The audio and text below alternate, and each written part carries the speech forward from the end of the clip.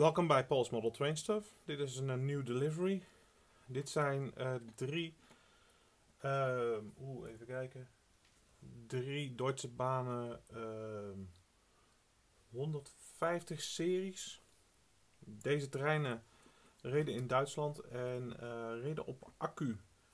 Um, zij werden opgeladen bij de, op de stations en reden vervolgens dus verder op, op de accu naar het volgende station waar ze weer opgeladen konden worden. Het grappige is, het zijn er dus drie. Deze heeft een uh, gesmolten koplamp. even kijken. Ja, daar dus. De andere twee zien er redelijk uit. Um, op wat kleine dingetjes na. Maar het grappige is dus dat ze eigenlijk altijd maar met z'n tweeën reden. Deze heeft verlichting, die heeft verlichting, deze heeft dat weer niet. Wat ik waarschijnlijk ga doen is dus wat uh, van de kappen wisselen. Hier zie ik ook wat verkleuringen. Je zit daar uh, met dat gesmolten deel. Dus ik ga die kappen verwisselen en daar een mooie set van maken van twee stuks. En ik denk dat ik ze verder gewoon helemaal analoog laat. Uh, er zaten her en der wel wat rare uh, dingen in met de verlichting.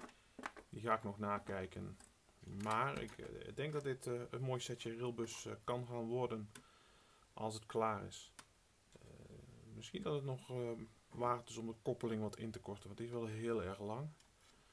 En ik heb natuurlijk deze nog die ik voor de, de koplopers wil gebruiken, maar ik heb er meer besteld. Nou, of ik ze hiervoor ga gebruiken, dat moet ik nog eens even over nadenken.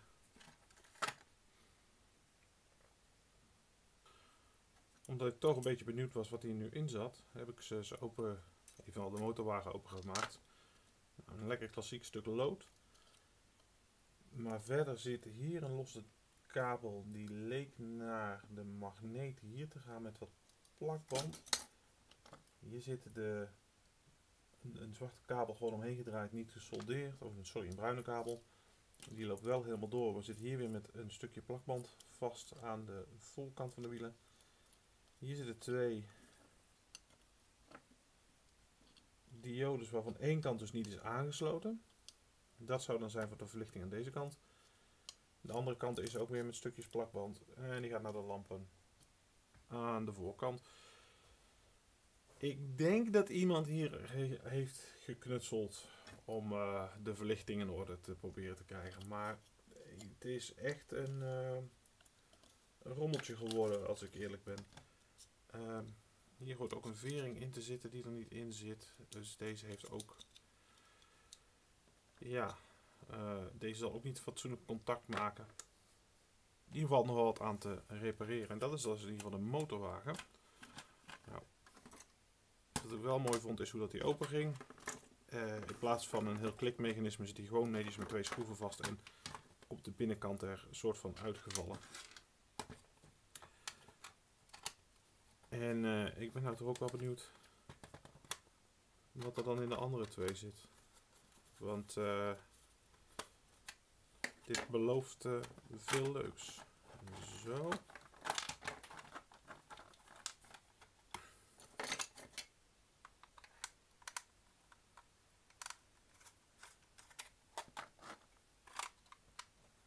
Er schuift in ieder geval van alles los rond. Als die schroef hier eruit zou gaan. Ja. Oké, nou, ik heb hier lampjes aan draadjes die er half los in hangen. En opgelijnd zijn. En waarschijnlijk heeft de lijn dit uh, veroorzaakt dat het daar aangevreten is. Niet zozeer gesmolten door de hitte, maar wel door de lijn. Hoewel zo'n gloeilampje ook goed warm kan worden. Verder wel twee nette uh, wielen eronder, het blokje lood en wel gesoldeerd niet afgeschermde kabels. Nou, dan ben ik toch benieuwd. Kandidaat nummer 3. Wat gaan we hier aan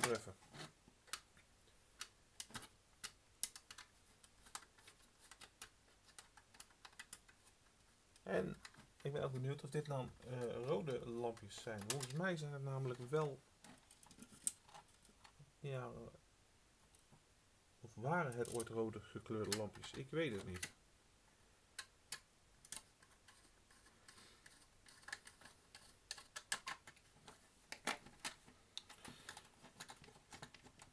Zo'n mooie Roco uh, netjes afgewerkte trein is natuurlijk leuk. Uh, zoals ik tijdje terug had. Ah, maar dit vind ik toch prachtig.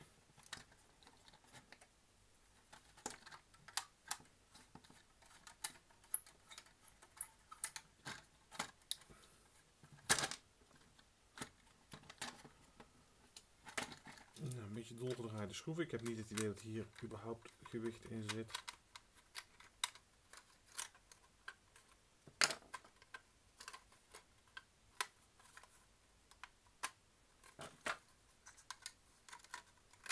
Ja, en daar is hij al. Hop, schroefjes eruit.